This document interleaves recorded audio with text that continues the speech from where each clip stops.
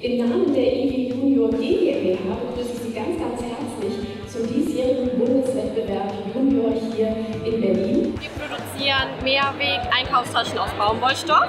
Wir sind Spielmacher RW und wir produzieren das Spiel zum Turm für Jung und Alt.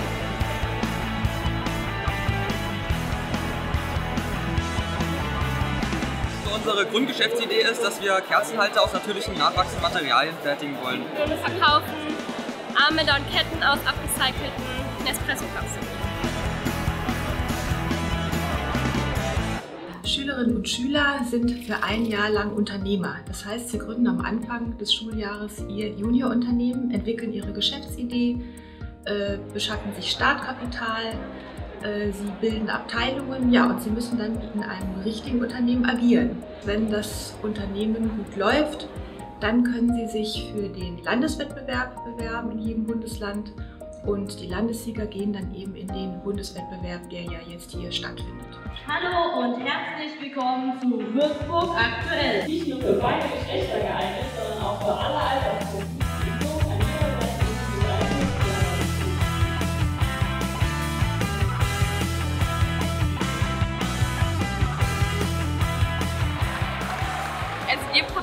Gewürzkiste und Blöcke.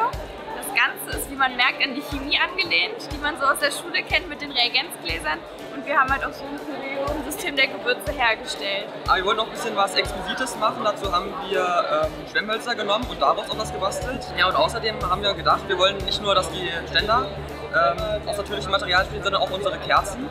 Deswegen stellen wir jetzt seit neuestem auch unsere eigenen Kerzen her aus natürlichem Bienenwachs dann war das so, dass wir Kaffee getrunken haben und uns so dachten, okay, der Kaffee schmeckt gut, aber was passiert eigentlich mit diesen ganzen Kapseln, die dann übrig bleiben? Die schmeißt man ja normalerweise einfach weg. Dann haben wir uns zusammengesetzt, ein bisschen rumprobiert, geformt, erhitzt, zusammen getackert, zusammen gedrückt, halt vieles ausprobiert und dachten so, okay, dann versuchen wir uns mal mit Armbändern und Ketten. An den Junior-Programm gefällt mir einfach das wahnsinnige kreative Potenzial, was man sieht, die Herangehensweise an Probleme. Dass es wirklich in der Realität sich abspielt, dass es nicht nur eine virtuelle Umgebung hat. Es weist auch über den Tag hinaus. Ähm, viele Unternehmen gründen sich dann dauerhaft